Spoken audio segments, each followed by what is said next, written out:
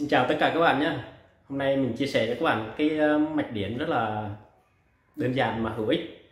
À, Cái mạch này là do một bạn ờ, xem kênh youtube của mình nhé. Thì à, gọi điện tới mình và yêu cầu nhờ làm cái mạch là báo cúp điện.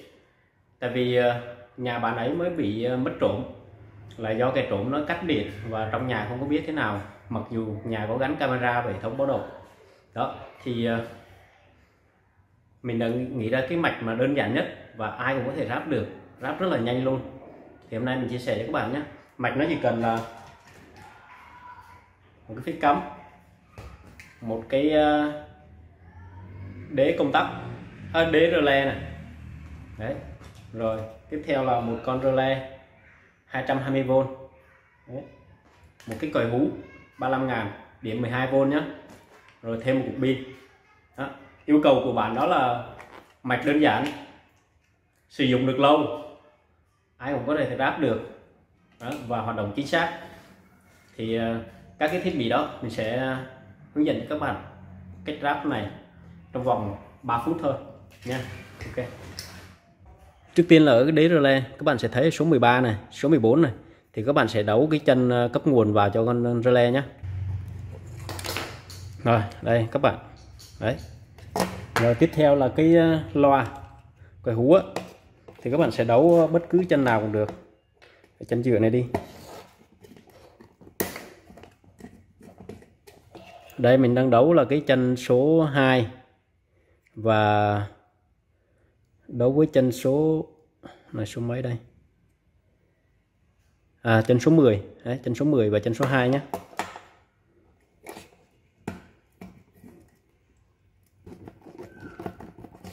rồi, các bạn đấu thế này. Rồi, tiếp theo đây là còn cặp dây lại thì các bạn sẽ đấu vào cục pin.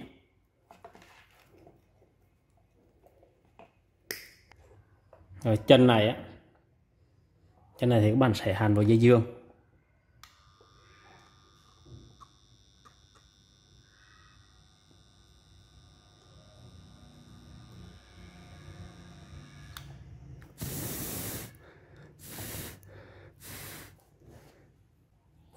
Chân còn lại các bạn sẽ hành vào dây âm.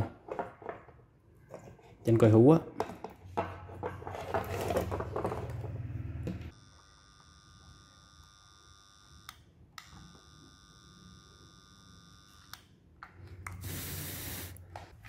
Như vậy là chúng ta đã xong cái mạch rồi các bạn. Đó. Cực kỳ à, đơn giản thôi các bạn. Để mà sử dụng hết cục pin này chắc rất là lâu. Và bây giờ mình sẽ test thử các bạn nhé. Chúng ta sẽ gắm cái cái con relay này vào. Relay này là 220V đây 220V đấy. Thấy chưa? bắt buộc chúng ta phải cắm điện vào này. Đấy, có điện nhá. Có điện này. Khi mà cái trộm nó cúp điện phát, nó sẽ hú. Đấy, thành công rồi các bạn cần trong vòng 3 phút thôi các bạn sẽ đấu được cái mạch này.